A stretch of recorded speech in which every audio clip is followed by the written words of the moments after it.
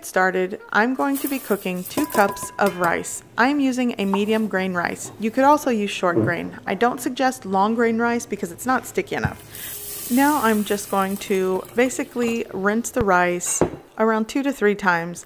I'm just going to get my hand and mix it around, soak it in the water, and you'll see that the water turns murky. Then I'm just going to pour that out, add more cold water, do the same thing, and just repeat the process.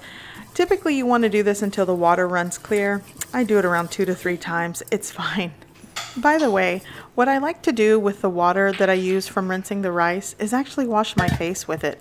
This rice is not really dirty, it's actually pre-washed, so it's okay to use this water. Now if you have a dirtier rice or grittier rice, you might want to rinse it a couple times before you actually use your rice water. But again, that's just what I like to do. I don't like to throw out the water. Okay, so my rice is rinsed. So now I'm just going to add the water, place it into my rice cooker, and let it cook. Okay, so now that my rice is done, I'm just going to move it and mix it around and eventually I am going to place it in a bowl. I'm going to be using around six cups of rice. I haven't actually measured it, but when I make two cups of rice, I usually get around six to seven kimbap rolls. So now I'm going to season the rice. I have a tablespoon of rice vinegar, a teaspoon of sugar, and a half teaspoon of salt. I'm going to dissolve that in the vinegar and just season it with the rice and just give it a mix.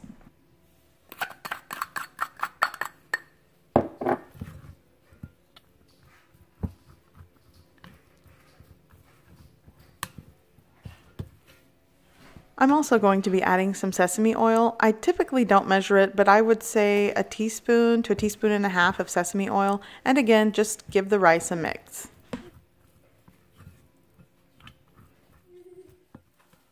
Okay, so my rice is prepared, it's seasoned, but it is still warm and you do not want to work with a hot or warm rice. So I'm going to cover the rice and allow it to cool.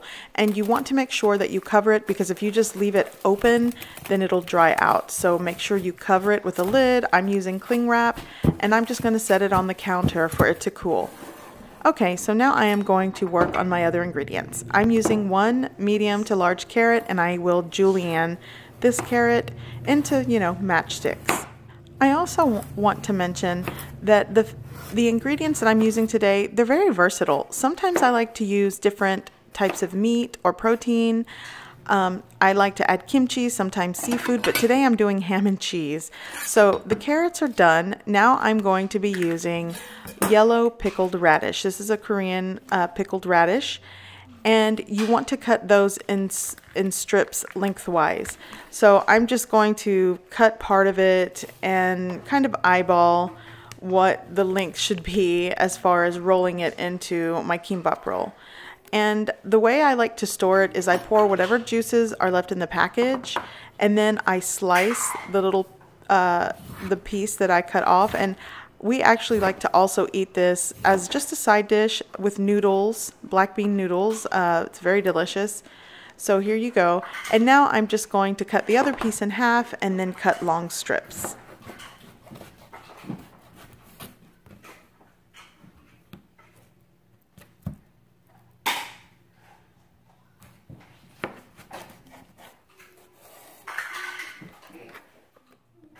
Okay, so I've cut several strips. I'm going to store the rest back into this container and we will eat this later. So now I'm going to move on to the next ingredient. What I'm going to be doing next is cutting some ham. Again, you can use the meat of your choice. I love to make ground meat seasoned like bulgogi style, but today my kid requested ham and cheese, so that's what we're doing. So again, just like the pickled radish, I'm going to cut long strips. Ultimately, you want everything to be, you know, in strips because you're going to place it inside your roll. So I have enough ham there. I'm going to do the same with cheddar cheese. Again, you can play, replace or substitute the ham and cheese with the protein of your choice. Sometimes if I don't have any meat, I actually season mushrooms like bulgogi style with soy, sugar, and ginger and garlic. And just kind of stir fry them. And, you know, we kind of have a vegetarian version of this. So here, everything is cut into strips, and I still have several other ingredients. Next, I am going to show you how I like to do spinach. Here I had a six ounce container of spinach that I blanched. I basically placed it in boiling water for about 30 seconds and then shocked it in cold water and squeezed out any remaining liquid. Now I'm going to add two cloves of minced garlic. I'm also going to be adding some spring onion that I chopped. The amount is up to you. I think this is a, probably somewhere between a quarter of a cup to a third cup of spring onion. And now I'm just going to add some salt to taste and sesame oil to taste.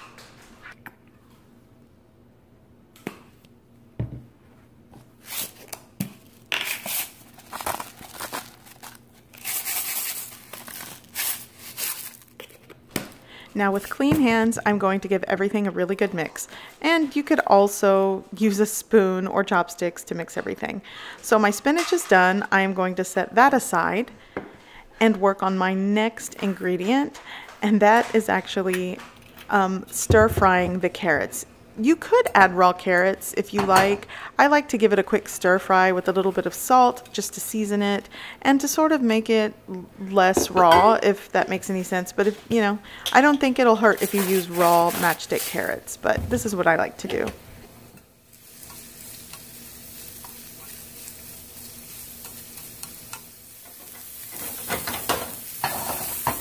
Okay, I let these saute for around a minute or so.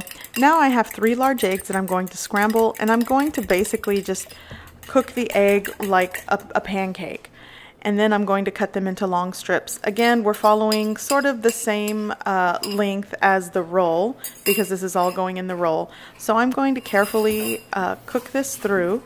You can season it at this point. Um, I think I added salt when I was scrambling them. Just add salt to taste and just carefully start working the edges and eventually you're going to want to flip this over. And I usually don't have the best of luck flipping it over with the spatula, so I like to use a plate.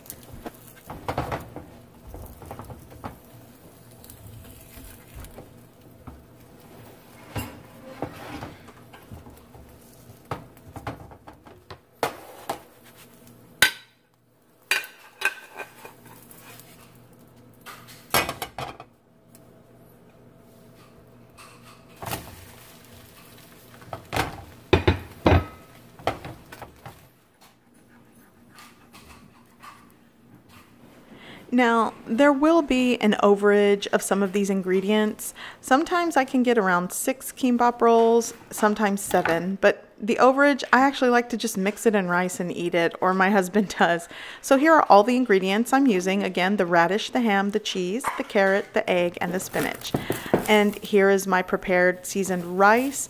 So I'm going to set up a station here and let me give this rice a mix. By the way, you sort of want to break it up a little bit. It's easier to work with when you're putting it on your um, seaweed sheet.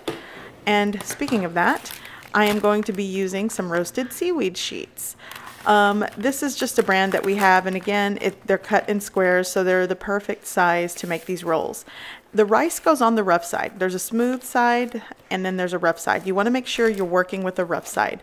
So the little trick that I like to do when I'm working with rice is to use a rice paddle. I find it, I don't have to uh, wet my hands every time I make a roll. I don't have to put oil on them.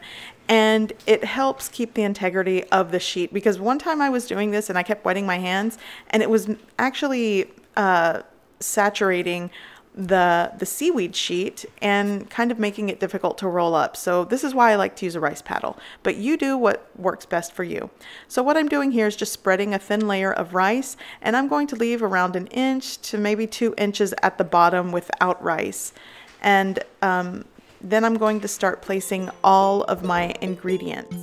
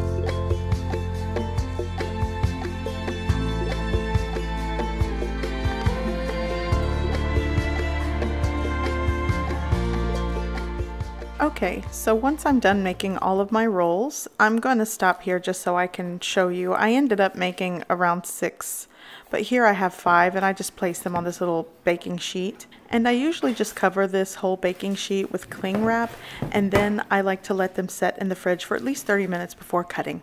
But for video purposes, I just want to show you what it looks like when it's cut. Now, before cutting, I like to oil my knife blade with some sesame oil, and that allows you to get cleaner cuts. So I do this for each cut because the rice is sticky. Now, the end pieces, we actually fight over those. We love the end pieces, so someone will eat this right up. And now I'm just going to cut, and you can cut whichever width that you like. I like to do it on the thinner side because my kiddo Dax, he has a smaller mouth, so it's easier for him to eat this when I pack him a lunch. I'd also like to mention that the measurements and ingredients will be located in the description below this video. So basically once I cut everything, we like to eat them with side dishes, but I want to show you sort of a back to school lunch idea for kids or adults. And again, the protein does not have to be ham and cheese. You can do ground beef, ground turkey, you can do steak. Sometimes I like to do a fusion of things and I will add avocado with like Tex-Mex fajita seasoned uh, beef skirt. It's really delicious.